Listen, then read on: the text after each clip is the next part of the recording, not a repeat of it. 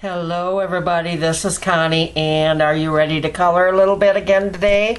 This is nighttime again. Here we go. That looks good. I'm going to use golden pink or golden red to start.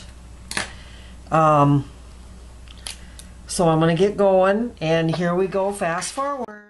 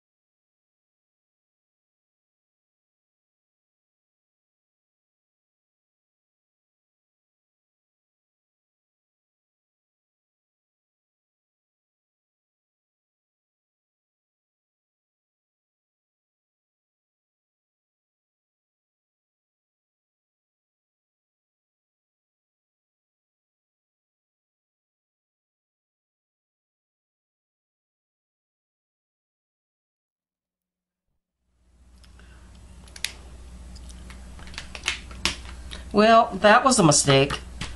I should have done that way different. It looks terrible. Maybe once it dries, I can kind of go over it with a lighter color in some spots. But that'll be it for tonight, guys. Um, I did all this.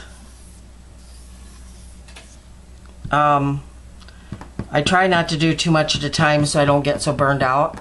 So I will see you next time. Bye bye.